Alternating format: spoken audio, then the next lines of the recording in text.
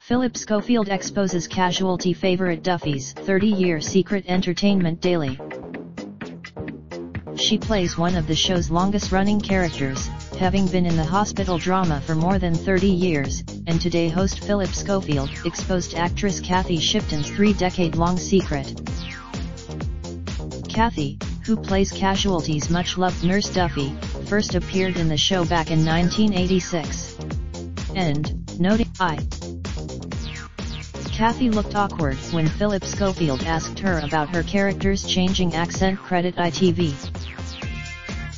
In the clip, Duffy can be seen chatting to Charlie Fairhead, played by Derek Thompson.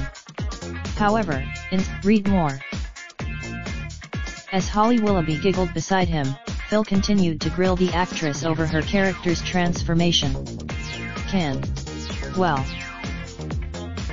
Holly and Phil laughed as they interviewed Cathy about her missing Yorkshire accent credit ITV. Okay. Well.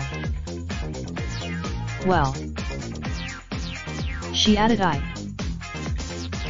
Cathy first appeared in Casualty alongside Derek Thompson in 1986 credit ITV.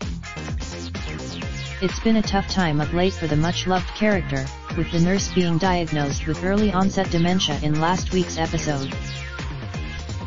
It's the star added of the heartbreaking storyline they read more.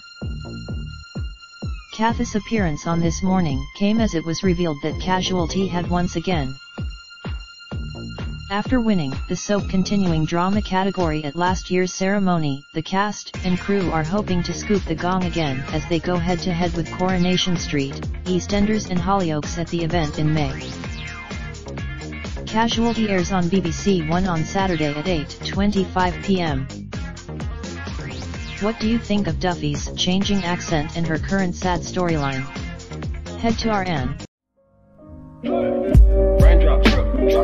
Smoking, no cooking the hot pot. Fucking on your bitch, yeah, that, that, that. Looking up, open the park pot.